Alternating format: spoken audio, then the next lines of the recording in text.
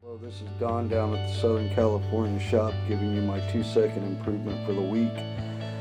This week's improvement, we're going to do a continuous improvement on a product we've already been working on, visual controls.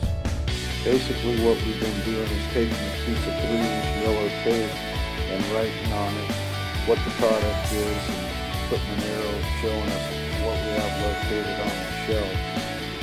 So what I've done now is I went ahead and made some labels on my computer and I stuck them to magnets.